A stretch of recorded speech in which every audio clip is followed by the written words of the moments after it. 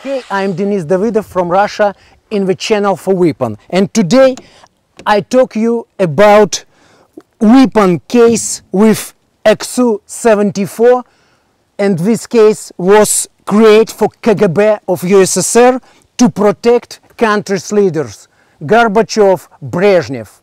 Uh, okay, today I show it and of course shoot it. Let's go. This is simply case from USSR. Open it. And here you can see button. Push it and it open. What we can see it? We can see automatical rifle AK-74. This is automatical rifle from USSR, uh, little shorter AK.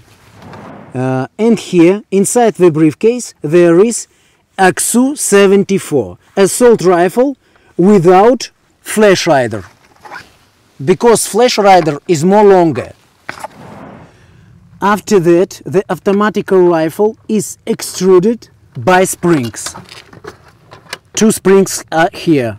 A case fall down on the ground and you can to shoot. Okay, I'll show it. Let's go.